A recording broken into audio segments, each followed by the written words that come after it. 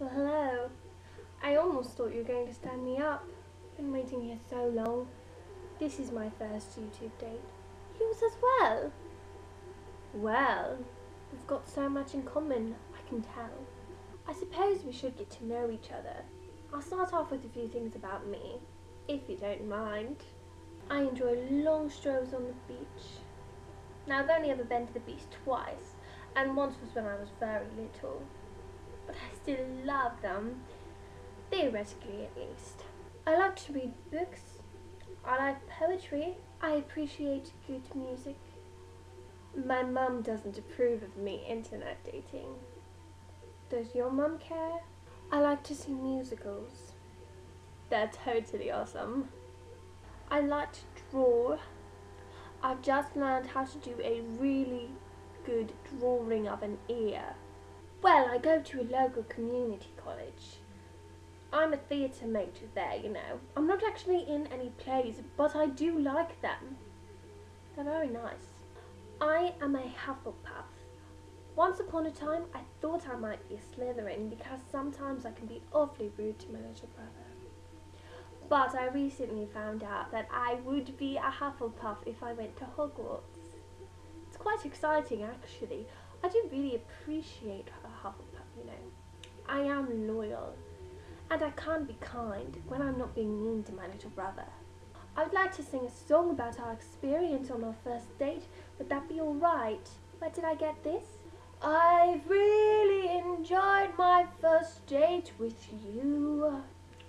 It's actually a rather interesting story. There was this horse and there was a little boy running towards a cliff.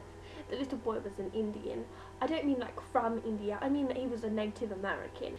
You've made all my dreams come true. And the horse was running towards a cliff. And I so bravely chased after the horse, which had that little Native American boy on it. What if we had a second date? And I rescued him from the horse. I said, Horse, you must stop. And it did. And so the Indian chief gave me this medallion symbolize the bravery and love I showed that day. Would that be okay? It's got a bear claw on it, which, which is so nice because I love bears. I mean, I don't like bears when they try to eat people because I don't think we should eat people. That's cannibalism. Mother should let me come out with men more often. Do you like cats?